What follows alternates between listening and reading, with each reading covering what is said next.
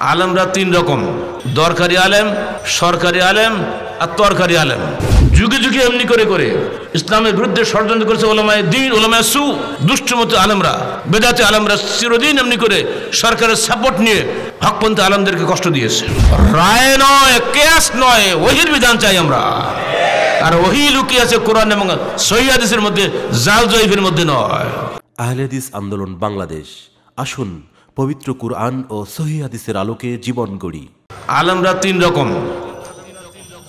দরকারি আলেম, সরকারি আলেম আর তরকারি আলেম। বুঝলেন নাকি? কয় রকম আলেম বলেন?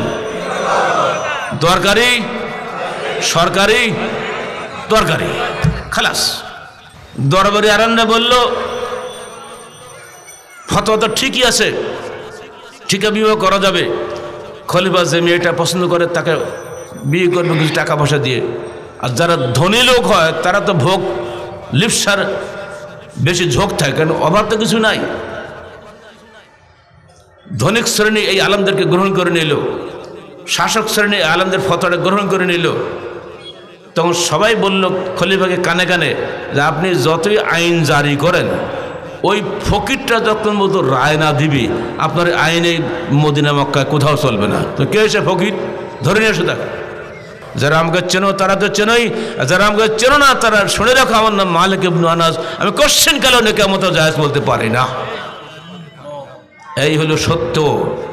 সত্য জয়লাভ করবে ত্যাগের বিনিময়ে, ভোগের বিনিময়ে নয়। যুগে যুগে এমনি করে করে। ইসলামের বিরুদ্ধে ষড়যন্ত্র করেছে ওলামায় দিন, ওলামায় সু, দুষ্টমত আলমরা, বেদাতে আলমরা চিরদিন এমনি করে সরকারের সাপোর্ট নিয়ে হকপন্থী আলমদেরকে কষ্ট দিয়েছে।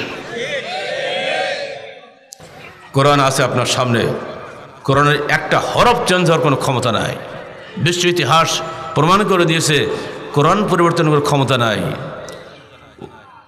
মানিক মেহভিনী উনিশশো চুরানব্বই সালে উনত্রিশে জুলাইতে নষ্টা মেয়ে তস্তেমানা স্ট্রেন যখন বলেছিল, কোরআন পরিবর্তন করতে হবে। তখন আমরা সারা দেশব্যাপী ওলামাই কেরামে মিলে বিশ লক্ষাধিক জনতার সামনে মানিক মেয়ে অভিনয় সেদিন আমার দুই মিনিট দশ সেকেন্ডের ভাষণে আমি বলেই ফেলেছিলাম জাতীয় সংসদে তাকিয়ে সকল বিধান বাতিল করো, ওহির বিধান কায়েম করো। সেদিন সে দুই মিনিটের ভাষণ আজকে আমাদের জাতীয় স্লোগানে পরিণত হয়ে গেছে। বলুন সবাই, সকল বিধান বাতিল করো, ওহির বিধান কায়েম করো। আহলাদিস আন্দোলন বাংলাদেশের এটাই হলো জীবন্ত স্লোগান। আমরা মরে যাব এই স্লোগান ইনশাল্লাহ মরবে না। রায় নয়, কেয়াস নয়, ওহির বিধান চাই আমরা।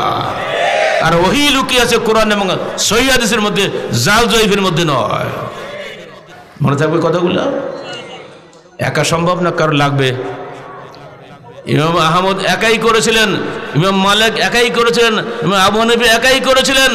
আজকে আমরা কোটি কোটি মুসলমান সারা পৃথিবীতে আমরা সব তাদেরই রেখে যাওয়া ফসল। তাদের সেই দাওয়াতকে আমরা ভুলে গেছি নাকি? সেই দাওয়াত নিয়ে বাংলার জমিনে কিছু মানুষ যদি উত্থিত হন, যদি ঐক্যবদ্ধ জামাতবদ্ধ হওয়ার চেষ্টা করে যান, ইনশাআল্লাহ বাংলাদেশে আবারও ওহির বিধান বিজয়ী হবে ইনশাআল্লাহ।